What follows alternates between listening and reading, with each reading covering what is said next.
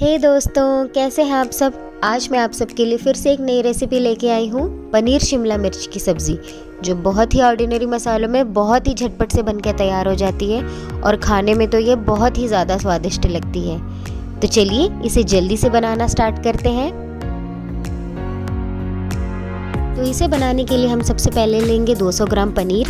इसे मैंने लंबे लंबे टुकड़ों में काट लिया है। आप अपनी मर्ज़ी से इसे किसी भी शेप में काट सकते हैं। छः से सात कलियाँ लहसुन की और एक इंच अदरक का टुकड़ा। इसे भी मैंने लंबा लंबा चॉप कर लिया है।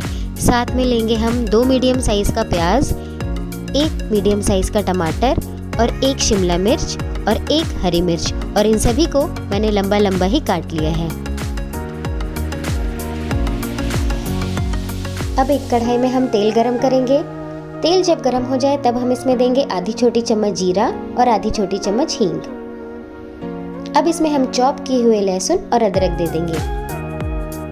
लहसुन और अदरक थोड़े जब गोल्डन ब्राउन हो जाए, तब हम इसमें देंगे हमारे चॉप किए हुए प्याज। प्याज को अच्छे से चला लेंगे और इसे भी गोल्डन ब्राउन होने तक फ्राई कर लेंगे।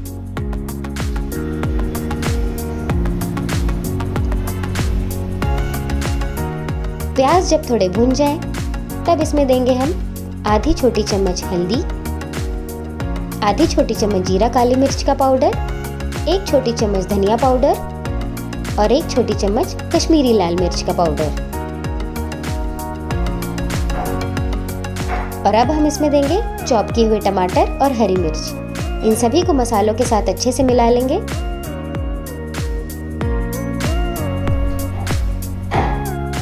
अब हम इसमें देंगे स्वाद अनुसार नमक। अब हम इसमें चॉप किए हुए शिमला मिर्च दे देंगे और पनीर। और एक छोटा पैकेट मैगी मसाला का। इन सभी मसालों को आपस में अच्छे से मिला लेंगे। और धीमी आँच पर ढककर दो मिनट पकने देंगे। तो देखिए सब्ज़ी अब बिल्कुल पक गई है। इसमें हमने ज़रा भी पानी ऐड नहीं किया है और ये कितनी सुंदर दिख रही है। तो अब हम इसमें ऐड कर लेंगे एक चम्मच दूध की मलाई। इसे अच्छे से मिक्स कर लेंगे और ये सर्व करने के लिए अब बिल्कुल रेडी है। तो देखा आपने, पनीर शिमला मिर्च की ये सब्ज़ी कितनी जल्दी बन के तैयार हो गई। ये कितनी रंग बिरंगी और कितनी लाजवाब दिख रही है। ये खाने में भी बहुत ही लाजवाब लगेगी, इसे एक बार ज़रूर ट्राई कीजिएगा।